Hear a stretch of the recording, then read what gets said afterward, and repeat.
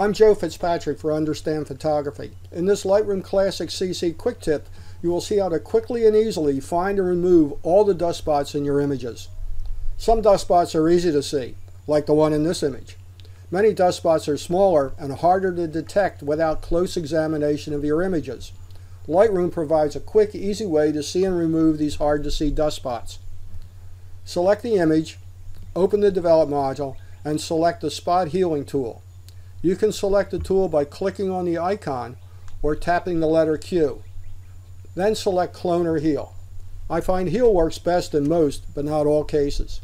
With the Spot Healing tool active, click on the Visualize Spots box or tap the letter A.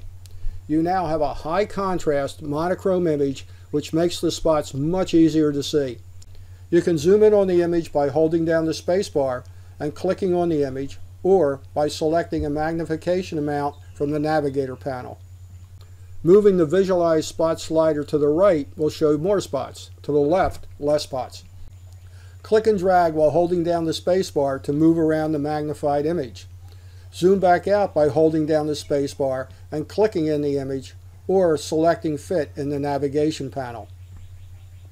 Use the Spot Healing Tool slider to adjust the feather to around 50%.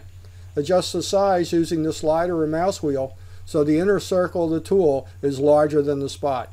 Opacity should be at 100%. Then just click on each spot, adjusting the tool size as needed. You don't need to close or open the tool for each spot. Occasionally, the spot healing tool will make a poor choice when selecting the donor area. When this happens, just click and drag to select a new donor area. When done, click on the Visualize Spots box or tap the letter A to see the spot-free image. Then click on Done to continue your editing. If you like this video, give us a thumbs up and subscribe to our YouTube channel. You can check out Lightroom and other tutorials and quick tips and watch our weekly show on our website, understandphotography.com.